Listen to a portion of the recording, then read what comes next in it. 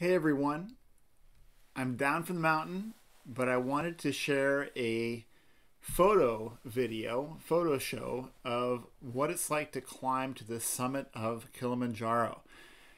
I'm doing this because I've had this playlist up for a few years now, and I get a lot of questions or comments about, wait, why didn't you do a video of the summit? And I said, well, because I didn't think about it. I was doing climate zones, and I did all the climate zones, so I was done. So, uh, by by popular request, I'm going to go through a few shots here for you to talk about the experience of climbing to the summit of Kilimanjaro. And I dressed up like I was on the mountain because it's fitting with the rest of the uh, the the videos in this playlist. Anyway, I wanted to comment really quickly on the experience of climbing uh, experience of climbing the mountain and how it's really amazing to get up so early in the morning and climb up the mountain and get these incredible views and uh, brings a lot of joy to the climber uh, to, to be able to, to, to see those views. So um, Kilimanjaro, of course, if you climb um, any of the standard routes is more of a trekking peak, but still, it's just amazing to be up there early and and and have these vast horizons and be able to see sunrise and and uh, all the even if it's the clouds, it's pretty amazing to be able to see that far.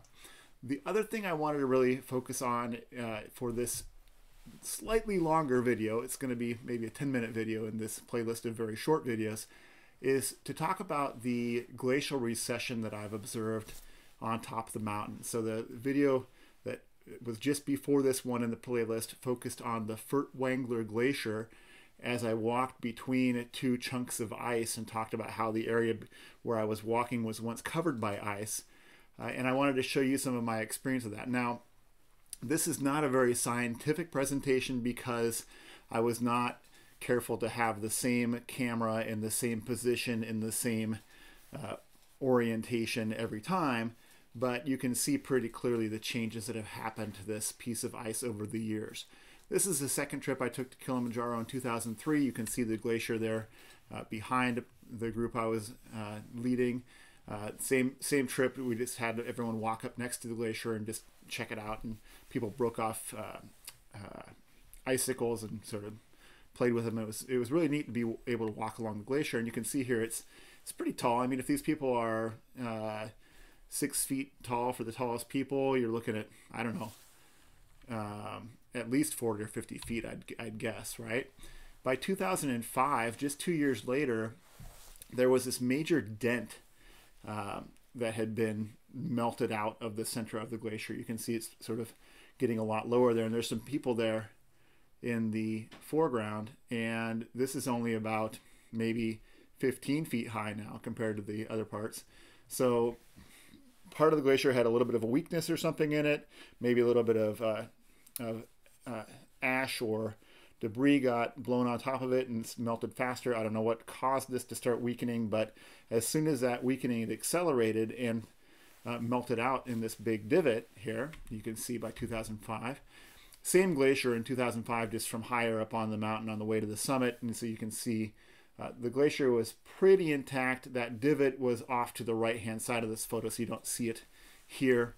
Uh, but then 2007, when I was there again, you can see that that divot then had melted out almost completely to the ground. There's little pieces of ice there. There's a little chunk of ice there. There's a little layer here what hasn't melted away all the way, but pretty pretty rapid deterioration.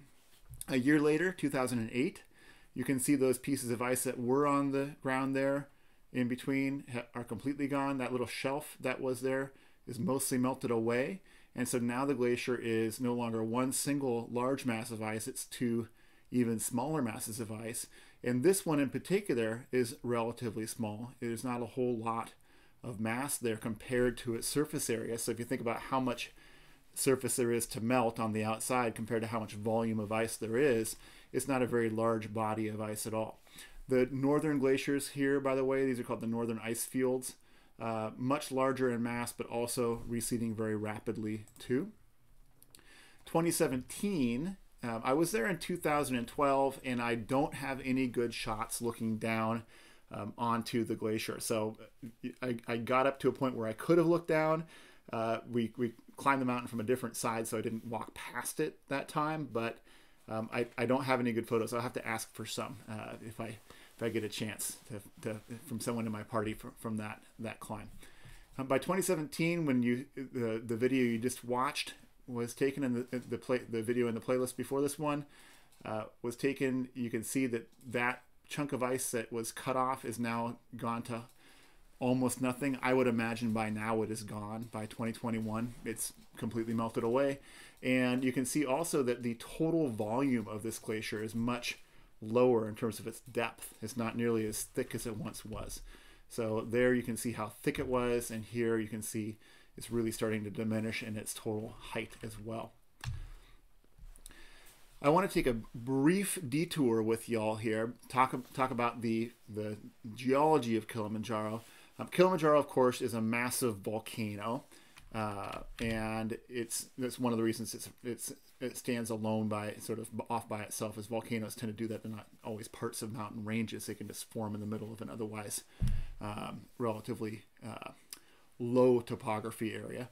Uh, and so that's the case for Kilimanjaro. Kilimanjaro, when you climb it, you come up either on this side or as we did for for this trip over on this side right here and then you for for our route we come over past the Furtwängler Glacier which is where those photos were taken and then you zigzag up this steep scree field to get right here to Uhuru Peak and Uhuru Peak is the highest point along the rim of the large crater that makes the top of Kilimanjaro but in the middle of that large crater area, so there's this big flat area you can see where that those ice fields are, for example.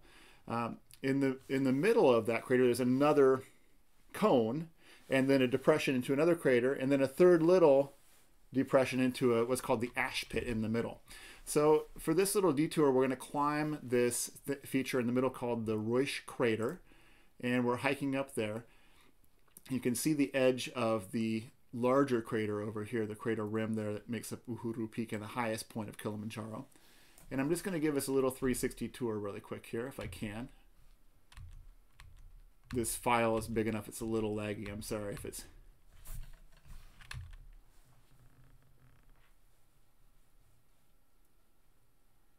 Have I lagged it out? There we go. Now it's working. So there's more, and this the stitching on this um, panorama isn't working quite as well as it could, but you get the idea. There's part of the rest of the crater rim. You can see the northern ice fields there in the distance. There's my buddy and our Tanzanian guides that helped us get up there. And now this is the Reusch crater we're looking into. And then this feature they call the ash pit. You can walk down into the Reusch crater. You can approach the edge of the ash pit. I wouldn't get too close. It's pretty steep and be easy to fall in. Uh, and then finish the 360.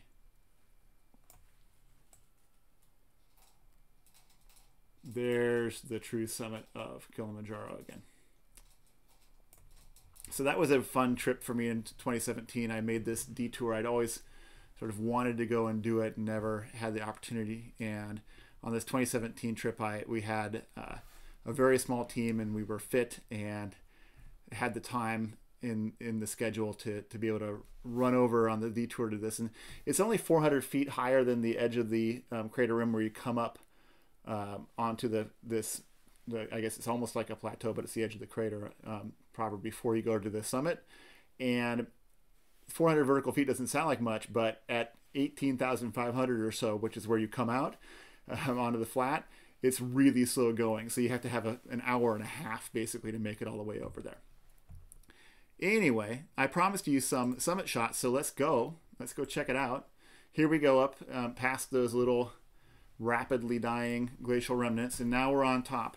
And I've I've had the chance to celebrate a lot of summits with a lot of people, and it's really great. This is uh, before I was a geography uh, professor, I was a mountain guide, and I've had the opportunity to take people up mountains around the world, and Kilimanjaro has been a really popular destination. So. Um, it really is fun being able to live vicariously through everyone's first experience, even though I might have been there before. Uh, I really enjoy it. So it's always big grins and celebrations, and um, super fun to be there. So people are pretty happy. Let's take a quick moment for some human geography. You might have noticed in these last two shots that the sign changed. So this was between 2008 and 2012. They took the old wooden sign out and they put up this yellow and uh, yellow and green thing and uh, it got coated with stickers first of all which is a little bit weird so that's interesting.